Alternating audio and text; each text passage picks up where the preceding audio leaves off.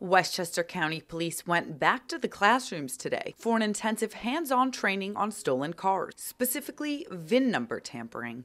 A vehicle's VIN number is its unique identifier. You can place it on any car, but when you run the number, it'll always show the original car it was registered to. Thieves have been removing VIN numbers and placing them on stolen cars, making them hard to find. Sometimes they sell these stolen vehicles to unknowing participants. We've gotten a lot of consumer complaints where people have purchased vehicles, scammed uh, Craigslist, other ads where they'll respond, it sounds too good to be true, and it probably was, so they wind up buying a car that's stolen or had the serial number changed. Several of the vehicles here today were purchased by unknowing consumers, and the vehicles wound up being stolen. Many of the vehicles that the officers did their hands on learning were in fact stolen. For example, this Ford Explorer Sport purchased on an ad.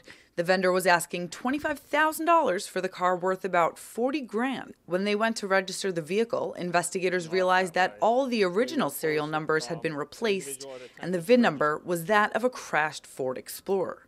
The county has also bought new radar technology that can read up to 1,500 cars a minute at speeds of up to 200 miles an hour. I went on a tour with the officers and they showed me just how the technology works. You can see the technology scanning each car and then moving on to the next as we drive, all automatically. While car theft is taught at the police academy, this event offers a more rigorous training, one that seems to have some pretty good results. I've learned a lot today. However, most of it that is discussed uh, cannot be um, disclosed to the public, but the training that is provided has combated auto theft to a point where it's gone down 50% in the past 10 years. If you're concerned about your car, you can go to the DMV website and look up your VIN number directly.